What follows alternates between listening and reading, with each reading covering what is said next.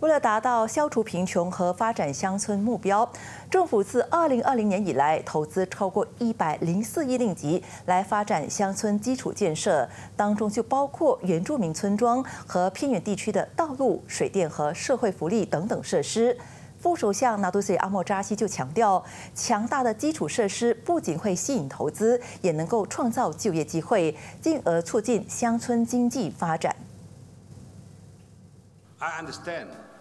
the importance of developing rural infrastructure for the socio-economic advancement of any nation. High-quality infrastructure, including roads, bridges, healthcare facilities, schools, and digital connectivity, all are fundamental to achieving effective rural development. Why? Because improved infrastructure facilities, easier access to market, allowing farmers to sell their products more efficiently and secure better prices.